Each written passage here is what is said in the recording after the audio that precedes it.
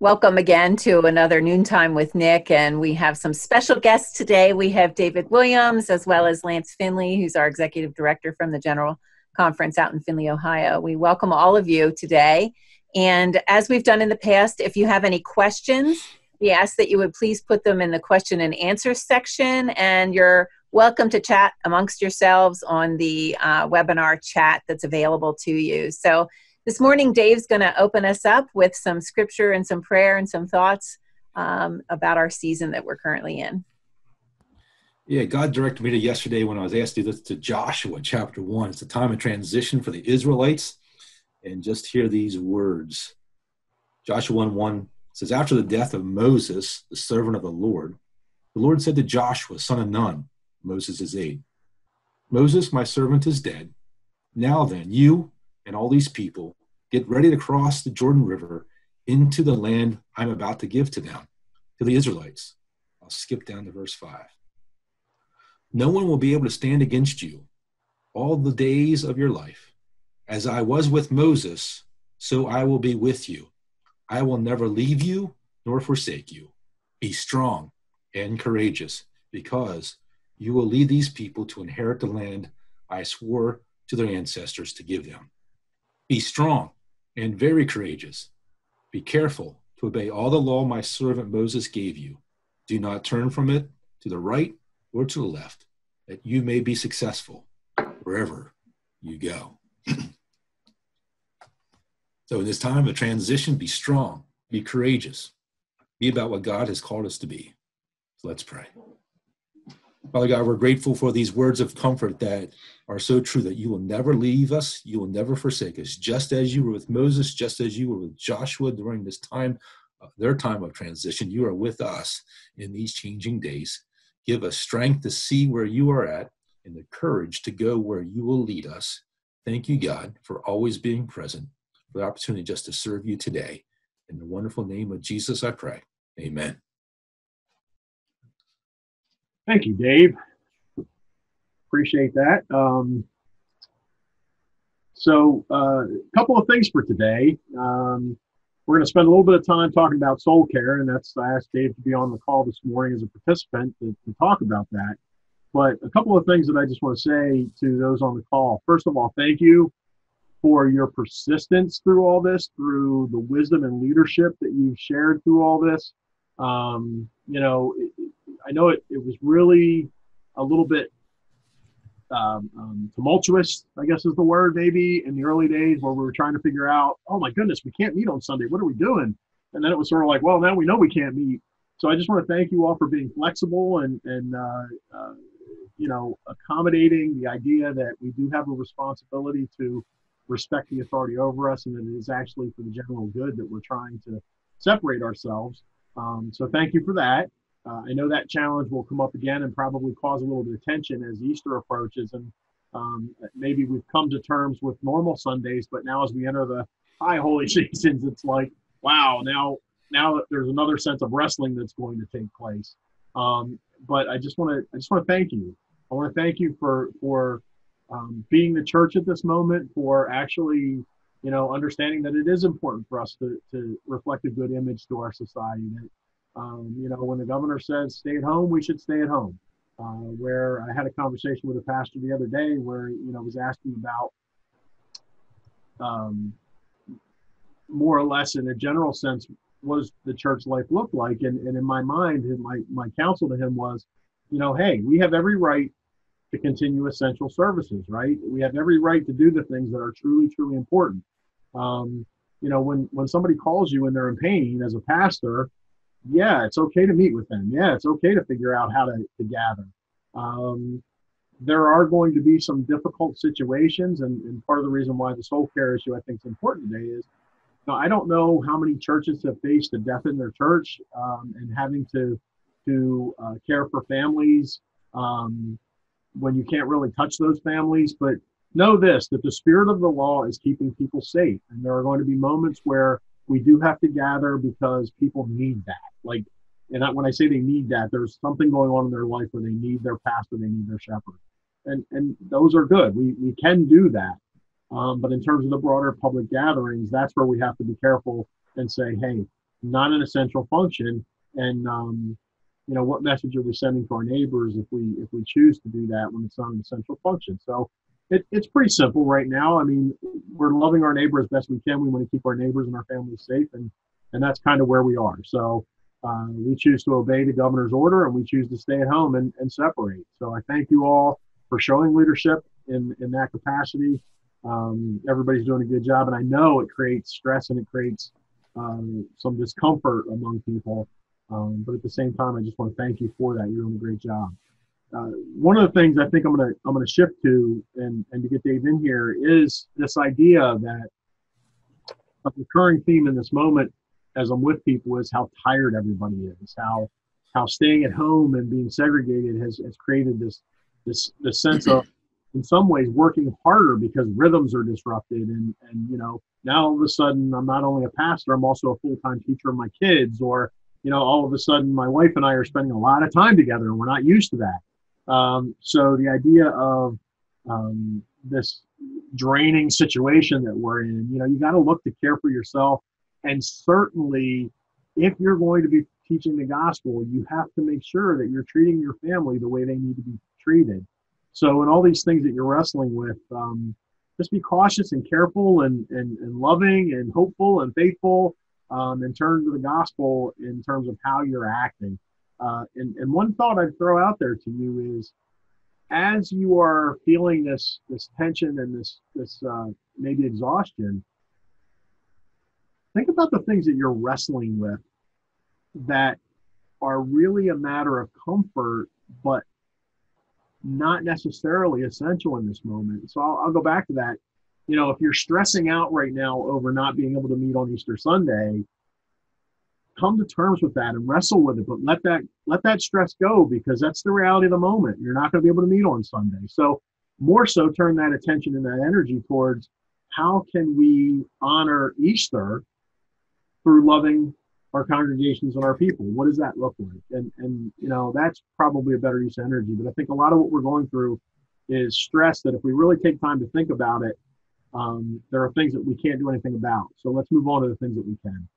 Uh, and with that, Dave, I'm gonna I'm gonna let you talk a little bit uh, about soul care. Yeah, yeah, it's been a stressful two weeks, and we've been living on adrenaline for that time, learning new things, trying to figure out how to, how to use a camera, how to do Zoom meetings, and, and, and we can run on adrenaline for a while, but after a while, that that just goes away, and you can crash and you can burn in that. So I, I want to encourage you to, to, just to take some time to slow down and, and to rest, because God's put that cycle into our lives. You know, He did create in six days, and the seventh day He created rest because we need it and so just keep remembering that that that rhythm that we do need rest. And even throughout the day, we need to just take some time to get away from this. The other day we had I sat in front of my laptop on Zoom for three hours almost straight. And by the time I was done with that, it's just kind of like I didn't want to do anything else. Didn't realize that sitting in front of a computer was so stressful and so draining. What it is, just trying to make sure you look okay and you're okay and you're not doing this or that. But just got to walk away sometimes. You know, be sure to take your time just to to read your Bible, to journal, to to pray, to just just be, uh, just to take care of your soul. Just uh, sometimes, you know, Don and I have been going out for a lot more walks. You know, and so in the evening, we look forward to that just to go out and walk around the neighborhood and see what's going on there and just to slow down. Some days it's been raining, so we haven't been able to do that. And so we found some other ways. Uh, sometimes you just got to close this thing, turn the thing off, and, and just, yeah, maybe read a book or just sit and be in silence and just spend some time with God, just to read the Bible just for fun and not not for the sermon, not for a Bible study, not to get something out of it for someone else, but just to get something for yourself because God wants to talk to you today. Mm. He really does. He wants to develop that friendship. So use this time to take some extra time just to spend with yourself, uh, just to sit in silence. Hey, take a nap. You got permission to take a nap, okay? If you need it, because I know that my schedule is out of whack. We've been staying up later, getting up, or the other night at one o'clock, God, you gave me decided, decided to give me a whole bunch of ideas of things we could do in the future. And then about three o'clock, I could get back to sleep. And now I'm still feeling it. And I'm like, okay, taking a nap might be a good thing. Uh. Oh, yeah. Well, I'll talk about fasting, fasting from the junk food. And that's something that maybe we should be fasting from for this time. Yeah, sometimes we go to that. You know, I've used food as my uh, place of safety and security too. And that's something I'm trying to just get away from for this season and find some other things. Though I do have some pretty good peanut butter eggs out there that I'm going to feast on at some point in time. so I was able to snag some from Pembroke before they got shut down. So thanks, Mark.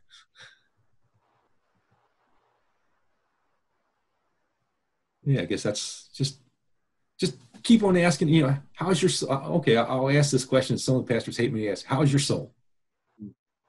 Just to ponder that today. How is your soul? And what are you doing to allow the Spirit work on it and to deal with it?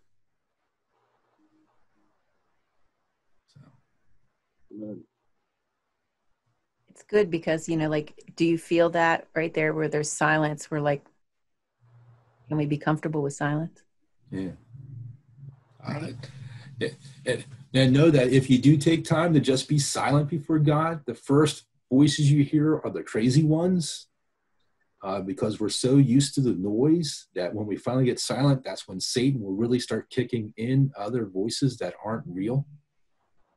And so if you take some time to be silent, just be aware of that. First time I did that, that drove me crazy. I didn't know what was going on. And then later on, I learned uh, some stuff through Henri Nouwen that, uh, you know, the, the monkeys chirp and those demons cry out because Satan doesn't want you to spend time alone with God. Good stuff, Dave. Um, I guess one thing I want to add to that too, because I think there might be some people struggling out there um, as pastors, your mission has changed, right? Um, you're at home now, and, and it is important as pastors to understand that you're look throw the clock out. Like it's this is not this is not office hours at the church. This is not you know as as we're throwing out the other stuff, we're throwing that out too. You're now at home working um, and carrying out the mission of the church in a far different way uh, heard a conversation within the last two days about um, a church laying off their pastor. And I really, like, I really had to think, and it, not that they were doing it, but they were, I guess they were pondering it. And I'm, I'm sitting there going, a church laying off its pastor. That's the same thing as a church closing its doors. So there are no layoffs of pastors. The, the mission has shifted. Um, and so the mindset needs to change too. This is not, you know, if anything, this is the idea of um, pastors not being hourly employees on steroids. They're not. They're not hourly employees. They're shepherds. Uh, and in a moment of crisis, their need is greater than ever. Uh, so just the fact that they're not necessarily preaching, and I know a lot of you are preaching on Sunday mornings, but you know, Monday through Friday, you're probably making more phone calls now than you've made in the past. You're probably doing things. You're you're you're you're pondering strategically what does the church look like. You're doing all these things. Your mission has shifted. It hasn't ended. Um, and so I want you all to be thinking too about any stress that might be caused by, well, you know, I'm collecting a paycheck and I'm not sitting in my office. Praise God. Your mission has shifted. Embrace that, right? what are the things that you need to be doing right now to be a good shepherd, a good teacher to your flocks? Um, and sitting in your office is not one of them. So that's another thing. Be released, be free in that moment. Don't don't sweat that one out either. Um, uh, you know, Dave, I don't know if you have any thoughts on that or not. Well, yeah, that's another point that I was wanting to make and kind of forgot earlier. Is find ways to serve you know and you can serve by making some phone calls doing some zoom calls but even when you you go to the grocery store and, and do buy those those foods you know thank the, the person who's wiping down their grocery cart or the person who's there or when you go to the uh, Sheetz store the speedway or wherever you're going to these in your area to just to get gas just to thank those people who are there um, yeah, so find some ways to serve. Be the church. Yeah. Um, go ahead, Colleen. I was gonna say, and that gives you great joy, you know, and yeah. takes you out of, you know, some of the things that you're personally struggling struggling with. Um, because some of the comments, guys, while you guys were talking, you know, where some people aren't tired, they're a little frustrated, you know, and so that's mm. a real emotion and and very yeah. true. You know, there's been a little disappointment in the body where uh, Don Snyder's church is not allowed to, not currently, they've had to cancel their um, drive in church for now with fire police getting involved, I guess, and those kinds of things. Okay. But, you know, there's also really great suggestions out there too. And Tim, Bright, Tim Beislein had talked about um, there's a website called pray-as-you-go.org. He said that's a good resource uh, to keep your soul care good. And uh, um, I'm not sure what that is, but you, know, you might want to check that out too. So, um, yeah another thing, and you talk about the, the losses. And yesterday I, I filmed a, a, session on laments, and we're going to be putting that out on Constant Contact because people are experiencing a lot of different losses. Some of them are small, some of them are large, some of them are going to a whole lot larger as we start having people and friends and parishioners die from, from this. And we, we need to grieve. And David grieved a lot 42 out of the 150 Psalms are, are laments. Uh, the whole book called Lamentations. So it's appropriate for us. And without doing the whole lesson now, I'll, I'll stop. Well, and there's, there's a question that came up, and maybe Lance, that you can speak to this, or Nick. I don't know if you've heard of any people, but um, are there any churches that are seriously considering laying off their pastors? Um, are there things we could do as other congregations to help avoid that happening? I think we have thoughts on that. Yeah, so I, I'm just going to lead into Lance and basically say I'm going to be addressing that more fully, uh, probably after his comments, but I'll let him open that up. But more more generally, Lance, uh, and that question is not going to go away. Mm-hmm. Let's say that. Uh, Lance, you have any perspectives you want to bring to the table from the general conference? Because again, you you take a look at not only the individual churches, but the foreign ministries and all that sort of thing as well. I mean, anything you want to share? Yeah, so you know that's I I, I think um, you know one of the questions that some churches are asking. I mean, you know, so we're all different. There there are some churches I know of that um, have hit these last couple weeks and stayed pretty close to staying on budget with you know income coming in. Uh, I know other churches that that's fallen off the cliff, and um, some churches that have reserves, other churches that live, you know, week to week. And so that is a real question, I think, in lots of places of how do we pay our pastor and, you know, how, how do we continue to keep, you know, the bills paid. Um, I'm not aware uh, of anybody who's like, you know, called and asked how do, how do we lay off a pat. I mean, I've, nothing like that's come across uh, my way, but I know, you know, as this stretches, that's going to be an issue in some places, and um, you know, as far as the world picture, I mean, you know, everywhere I know now is experiencing some level of this lockdown. So we know in Haiti, as best as they're able to lock down Haiti, it's supposed to be locked down, um, not very successfully from what I'm hearing. Uh, India and Bangladesh are going through the same thing we are. Um, you know, Brazil, I think, is is getting close to that. Um, Central America, again, right, seeing cases rise. And many of our brothers and sisters in places like that don't have this kind of technology, and um, certainly their people don't. So while we're finding ways to make do in this time, this this is really disruptive in those places. So, um, you know, I think there are are great concerns there it's interesting tim beislein just commented and this is this is a brilliant a brilliant thing for us as a body of believers that um, they're shifting their culture to see that their staff is their greatest resource and really every business well, we're not a business every ministry should look at their staff as their greatest asset and um, they're doing that they said he said that they'll stop their trash service and shut off water and lights before they lay off their staff Amen. so you know and i think if we are in the people business then we should really communicate mm-hmm. that. Yeah, it's good. I, know of one pastor who the church was on had, had some difficulties in the finances even before this. That you know, he offered to the council that if need be, you know, I'll take time off, or you can cut me, or I'll find another place to go if that needs be. So he made that offer to them just to talk about it.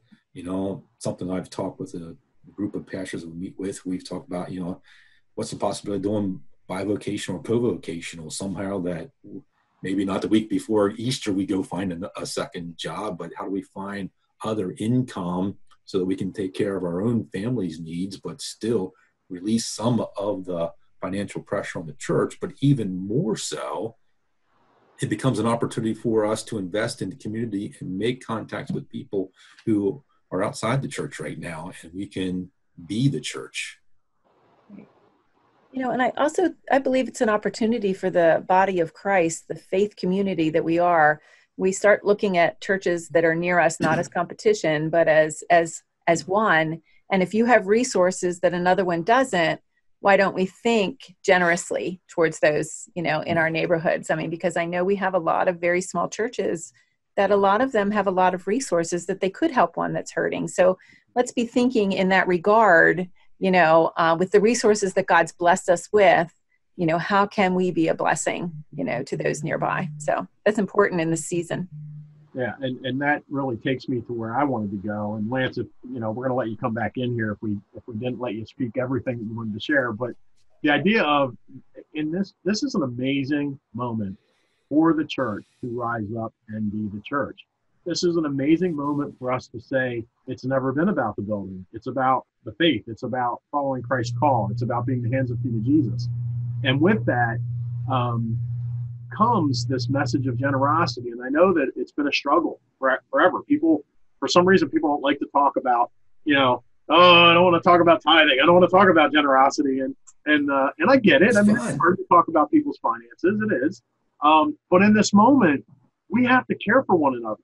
We we like we actually have to look at it. And if a church does happen to come on financial, you know, struggles, um, I, it's thoughtful, but we need to build a plan around that. We have to come to each other's aid. Um, we have to figure out how the ERC serves to protect. And and when I say that, don't I mean think about it. Like, what are the necessary finances? I like what Tim said. You know, we'll cut trash, we'll cut water before we cut people. Okay, yeah, there are cuts that may have to happen as tithes diminish. Um, but the last thing we're going to do is we're not going to cut the shepherds. We're not going to we're not going to cut the gospel message. We're not going to cut the evangelists. We're not. We're, we're not going to cut the service networks. Um, and and I say that there, there's a hard reality that some people have to understand. Um, and, and I and I get the depth of it because I'm living it. And that is we're not we're not on a career path. We're in a calling. And so if income, you know, I say this, I shouldn't probably say this out loud, but if income goes away, I'm still going to be in this role. Like I'm still going to do this role without pay. and I may need to find a way to feed my family because, as all of you have known, if you can look at my face, food is important to me, right? Um, so I, I, do enjoy eating. Uh, and I get the struggles that people are going through. And that's, you know, I think it goes back to the Acts passage where they sold everything that they owned and they took care of each other's needs. That's the season we're in right now. Mm-hmm. Um, we've given up our comfort you know, and I say that we've given up that routine, uh, that rhythm that we were comfortable in. We've done that. There may be other sacrifices that have to get made along the way, but at the end of the day, in this moment, we do have to be the church. We can't even begin to say in a secular way, well, we can't afford it, so therefore it can't happen anymore. No, the mission of God continues, and and we are we are the ones that carry that forward. And right now, God has given us an amazing opportunity to live out what we say we believe. And so we have to do that. Um, but I would say this: you are none of you are alone.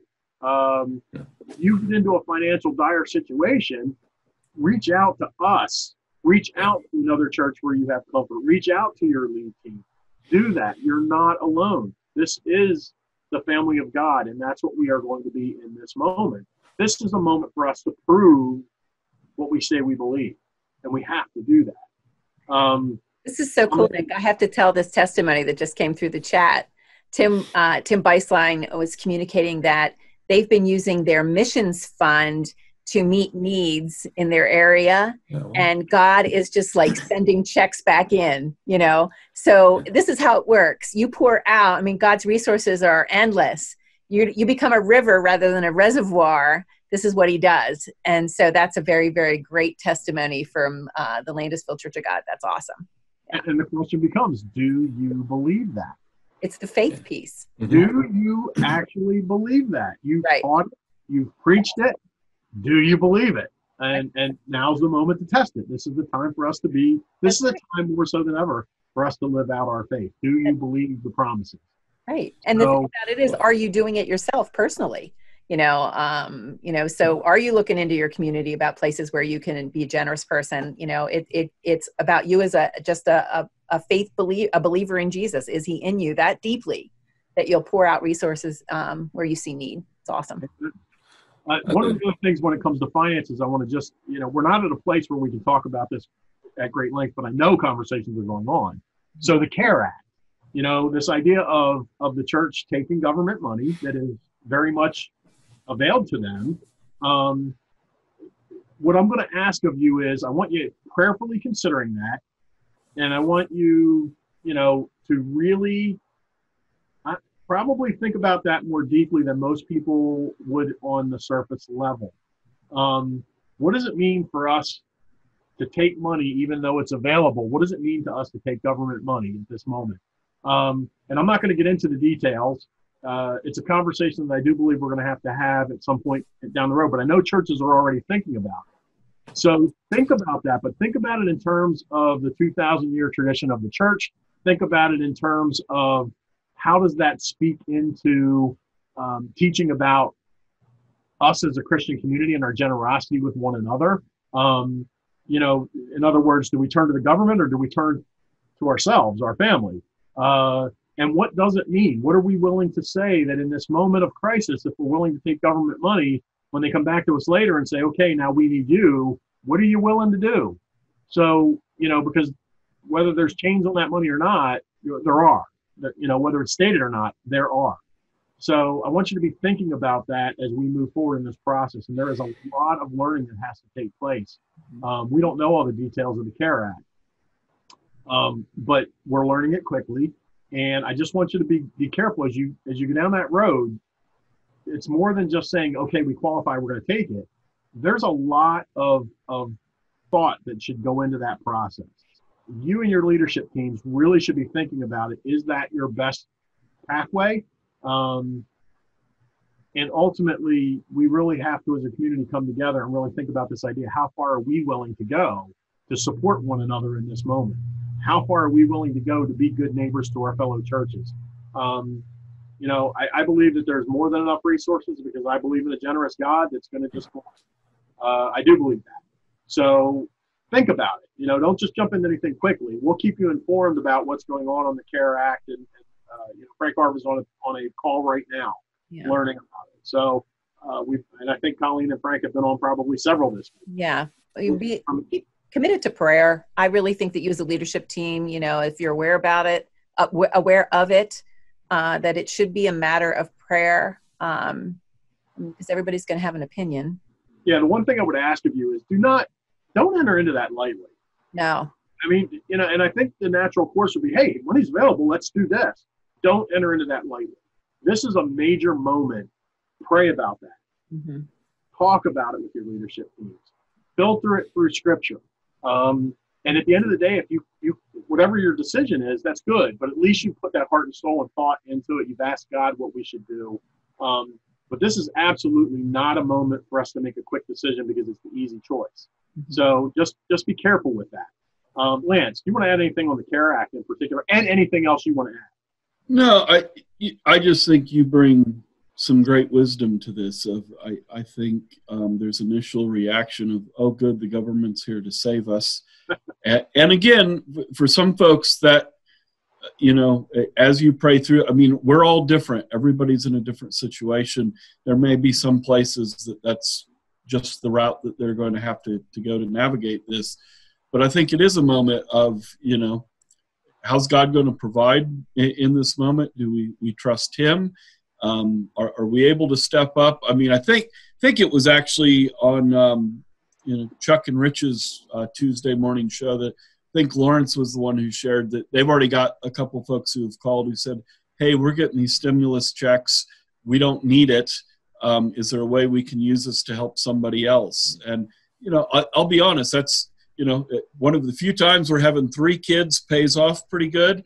Um, at, at this moment, I don't need that money and uh, uh, how do I use that to bless somebody else that's in need? I, yep. I think that's how God's people need to start thinking in this moment right. rather than just looking, yeah. um, you know, oh, good, the government's going to save us. Like I said, that that may be the route a congregation has to to choose, yeah. but um, I I appreciate your call to to think about, you know, who do we trust here, and is this a point where God uh, wants us to lean into Him and to trust Him more? So uh, another point that we made at our staff meeting yesterday was that maybe one of the things that churches can do with that is that we become aware there may be small business owners in our in our congregations and help them understand a little bit or get them connected with it. That may be a way that we can help other people as they bridge this time through.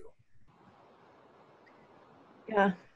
There are a couple other things that, that came up in the chat that um, uh, I had I had one question privately, and this is kind of on a totally other, not a financial subject.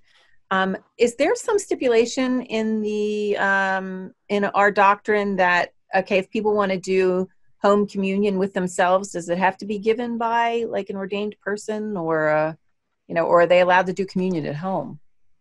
Is there a rule, some rule? I'm going to let the pastor speak that one. I, yeah. I, I mean, because I don't see a problem with it, but I'm a layperson, so it would have nothing to do with the, our doctrine. It would just right. be common sense of having scripture. right. I know. Yeah. At one point in time, I said we would have said that yeah, pastor has to give the words of institution, and okay. I kind of like that, but I'm not that hard and fast on that. I do know that some of our our pastors are talking about or telling their people, to hey, get the elements, get the juice, get the bread, have it ready because at such and such a time we're going to have it. You know, I'm going to lead us through that okay. ordinance. And yeah, so I know one of the pastors is going to do that, and I'm probably going to join them on that Zoom meeting. Okay, yeah, that's cool. Yeah, that's, cool. Yeah, and, and um, understanding that in this moment, I'm not saying that parents are now pastors. So when I say pastor parents, I'm really saying in this in this moment of urgency where, where where parents find themselves in the role of teaching their kids every day, break bread with your kids. You know, go through the communion process with your kids. Honor Scripture. Yeah. Honor. You know, this is a whole different moment. Um, you know, this is this is a moment to actually show your children and teach your children. It's not about the building. It's not about the Sunday morning. It's about every day. And we're going to break bread and we're going to celebrate the Word of God in this house um, you know, God bless you all. You know, do that. Yeah, that's good. I, I think, and a couple people have noted it in the comments I've seen that this is a moment for the for us to fully embrace the priesthood of all believers. Yeah. That over time, I think um, we slip into some places where maybe we didn't mean to slip into uh, in our traditions and in our ways of doing things, but uh, I remember Jesus saying, "As often as you do this, do this in remembrance of me." Yeah. And um, that there's something about even when we break bread, um, there's that idea of gathering, remembering Him all the time. So, uh, I I think we need to lean into this moment. I think the Spirit of God is is drawing us to some good places. I think it'll be extra sweet. You know, just really extra sweet. Thank you for that, Lance. Yeah. That's right. I even think it'd be an opportunity for the pastor to do some some teachings on it and just send out some stuff you know, via email to the parishioners. Here's the, here's the basic words that we would use if we were all gathered, and here's how you could do it with your family. Mm-hmm. Yes. And read from First Corinthians 11, and then say this as you take the bread, pray over it. Here's some more words. Here's what you do when you have the cup. Just some you know, more broadly too, and I, I say this is such an amazing time where those that take the responsibility of their faith greatly, you know, deeply, and want to share it with their kids. This is a great time for pastors to be reaching out, teaching parents. Okay, here's some of the struggles you might. Here's a, look at this opportunity. Here's your teaching moment.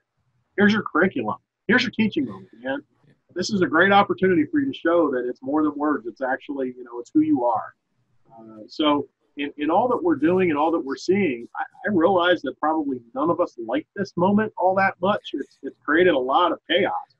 Um, but it is an amazing opportunity for us to learn, to grow, to live out our faith, um, to embrace the reality of the moment. And, and, as Dave mentioned earlier, man, oh man, when's the last time you took a nap in the afternoon? Go take one, right? I mean, like, it's an amazing opportunity for us to reset our internal clocks and say, maybe this is what life should look like. Maybe those things I was doing before had me in a unhealthy place. So when we talk about the ERC strategic plan, healthy pastors, you have a clean slate right now to be a healthy pastor. What does that mean? Embrace it. Don't wrestle with what you can't do any longer. Don't wrestle what we've done in the past. If anything, look at it in this moment and say, how can I really serve my congregation? How can I love my congregation? How can I love my family better than I've loved them for some time? How can I love my parents more? Um, God's speaking right now, and there's so much opportunity. And, and, you know, what we have to do is get past sort of that negative and look towards this moment. God, God is giving us a blessing also. What is it? What is He saying to us in this moment? So, anyway. Um, I have had this um, asked of me before. You know, is is the region and the denomination, for that point, uh, thinking about calling us to a day of prayer and fasting? I, I. The short answer is I haven't to this point. I think that's a great idea. I, I'm connected with a couple of different fellowships that, um, it, like yesterday, they were doing a, a, daylight fast that I, I joined in. Um, and so um, I, will be with our team tomorrow virtually, and we'll probably talk through that some okay. because uh, I, I think that's a, a great idea. We just uh, weren't that on the ball. Right. Well, there's been I've a lot. pondered it. I've just been too stressed over other things to say, let's go do this. Right. Okay. It was just, it just came up a couple times. So I thought I'd, I'd, I'd point that out. I know we're already past the, the 1230 hour for sure, but uh, one other thing I'd like to just remind you of and, and, really think about this. You know, we spend so much time talking about what does discipleship look like and what does leadership development look like. And we, we, we come at it from a, from a, a thought process, from a, from a strategic process. Well, guess what? You know what discipleship is and leadership is? It's rising to the occasion. And so in this moment, what I would argue, what I would, what it would say to you is, True leaders are being revealed in this moment. True disciples of Christ are being revealed in this moment. Help people, as pastors, help people to see that right now what's being revealed to all of us is um, maybe maybe this is our time to take a look and see what our actual maturity in Christ is. Maybe this is a time, and not to not to regret what we see necessarily, but to learn from it, from to actually say, okay, now I'm being tested. Like this is my moment Am I being the church? Do I understand what it means? It's an awesome opportunity, but when it comes to leadership development and and discipleship, it really does come down to how do you act at the moment where God's calling you to live, right? There's a training element for sure, but there's also just a, a, a, a pondering moment, a time to actually reflect, a time to sit back and go, God, I don't know what you're doing right now but I'm coming humbly before you to ask, what is it? What are you revealing to me? And and those are the moments where we really have to focus. That's the direction we have to focus our attention. Um, you know, stop wrestling with what was. Stop wrestling with you know, there's a new normal, and, and we're not going to know what that new normal is going forward. But we do what we do know what the new normal is in this moment, right? We do know that we're going to spend a lot more time on Zoom than we are face to face with people. We know that. Let the stress go and figure out in that in that venue what does it mean for me to be a good shepherd? What does it mean for me to be a good teacher? What does it mean for me to cast a good example to my to my congregants in terms of what it means? It's a wonderful opportunity for us to truly live into it's not the building. Is it? Are you sure it's not the building? Now's the time to test that. If it's not the building, it's not the building. How do we live in community outside of the building? How do we continue to make sure that we have strong support groups going that if we weren't here, they would continue to share the gospel? This is an incredible moment, people. You know, turn your attention towards the positive. Um, there'll be plenty of negative and there'll be plenty of hurts and there'll be plenty of stress moments. And, and we, even in those moments, need to come together as the church. Um, it's not going to be easy necessarily, but boy, this is actually an opportunity. It's a gift from God if we live into it properly. So keep it positive, keep it above board. Stop worrying about what you're worried about. It you know, don't stress out over what you know what is the latest news and and oh my goodness, what does it mean? We're all shut in our houses. You know, okay, we're shut in our houses now. Okay, God, what does that mean? How can I be a positive force if we're shut in our house? How can I honor neighbors? you know, I have this incredible desire to go hang balloons on everybody's mailbox just to make them smile for a moment, right? How it could be as simple as that. What does it mean to love your congregation, love your flock, and love your neighbors, and love your family? Because this is an incredible opportunity. So, and I hope we all embrace that and not the discomfort that we're feeling. That's good. Good. Well, how about if I give us a couple announcements for uh, next week. Uh, we have two webinars coming up, and what does it look like now? This is Monday morning at 9 o'clock. Diane Hakes and Mike Schooley will be reconvening at 9 a.m. What does it look like now for students, children, and families? And then on Tuesday morning, uh, the 7th at 10, um, it's going to be a panel discussion about personal ministry response during crisis, and it's going to have uh, Charlie Yost and Dwight Lefevre and Tom Gardner. Uh, so we welcome you to um, be a part of that. What I'm doing now is on our website on the homepage, there's a space you can go to to click on the links for the webinars, and then there's also a space you can go to and click on uh, to find the Zoom for the noontime with Nick. And uh, we've decided that those noontime sessions are on Mondays and Thursdays. So I think that's, did I miss anything then? Uh, um, uh, Diane said Stacy Reber, I guess, is going to be the panelist for um, Monday. Oh, good. Okay. Good to know. All right. I'll add her. Excellent.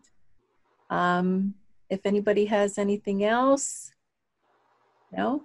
I, I would just uh, encourage you all, I, you know, I to kind of circle back to, to where Dave started. Um, how much I appreciate all of you and just the hard work you're doing. I kind of chuckle at social media because a lot of my friends, uh, you know, are seeing this as a time where life has slowed down and it's a different, and it's certainly a different pace for all of us. But a lot of my friends in ministry, I don't feel like it slowed down much, and actually uh, feel pretty weary and exhausted.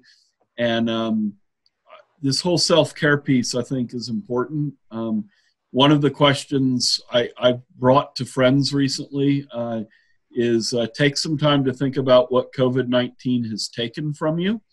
Hmm. Uh, because it, it has taken something from us. We're all grieving different things, and we're all going to grieve more things to come. Um, and, and, that's real. And some of this tiredness and weariness is, um, you know, grief working its way yeah. through us that uh, you need to pay attention to. Uh, the, the flip side of that is what has COVID 19 given you? Um, that, you know, in this, we've all found blessings of more family time, or uh, we appreciate the outdoors now when we're able, you know, any number of things, but that God is actually in His grace giving us things through this crisis. And probably the big question is just, you know, what is Jesus wanting to do in you through this? Um, that, you know, regardless of how we're reacting. Some of us are still anxious or frustrated or uh, hoping that we get back to normal as quickly as possible. Uh, one of the things that I've come to rest in is just the fact that in this season, Jesus wants to accomplish his work in me and just trying to, to lean into him and say, Lord, what is it that you want to do in me in this season that when we get through this, I'm going to be a different person. Mm-hmm in the way I live, in the way I see you, in the way I love people. And so I just thought that might be a, a good place to take people as we close is um, you know that self-care piece is important but if, if you haven't taken the time to say what what has this cost me? What have i lost?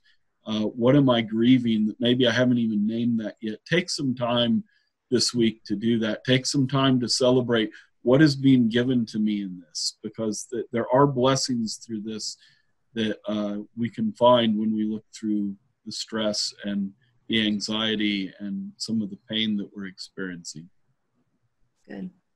And and don't let uh, don't let this moment um, be lost either. One of the things that came out of the um, the webinar the other day was one of our churches told their staff journal journal through this. As things move you, as thoughts come into your mind, make sure you write them down because the last thing you want to do is go through, you know, one, two months of pain, three months of pain, and lose every lesson that was taught to you. So take time, journal, write write your thoughts down um, in terms of how this might impact the future. Um, and with that, I think uh, I think we'll honor people. We've already gone way over. Um, so simply to say again, Monday meeting, um, we'll be back together, and I believe we've decided that Monday will be an open meeting again. Right? Mondays are open, and Thursdays are going to look more like this. Right. So uh, you'll have an opportunity to bring questions and, and interact with us on Monday. Um, we look forward to seeing you. Have a great weekend. And Colleen, anything else? No, I how about if we pray? Amen. Okay. Oh, Father God, we just, we thank you so much for who you are, your goodness, your love, your never ending resources. Father, we thank you for this resource of Zoom. We praise you that we are able to connect in this fashion. And so, Father, I pray that you would be with all of us, that as Lance said, you know, what is it, what is this showing me about myself and how can I be a different person um, as we move through it and as we keep our eyes on you and so, Father, I pray that you would change us, that we would never go back to the old ways, Lord. We just want to be so connected to you that we see more of you. And we know that in a storm, we can see more of you if we keep our eyes on you. So, Father, give us the uh, wisdom to know how to navigate. Give us the heart to want to seek and do the things that only you want us to do. Give us rest, as Dave talked about. I pray, Father, that you would help us to uh, take care of the soul that you've in, put inside of us. Help us to rest. So, Father, we thank you for this time together. Be with us as we go through the rest of our week, that we would honor you and keep us safe and healthy. In Jesus' name I pray. Amen. Amen. Thank you, everyone. Thank you.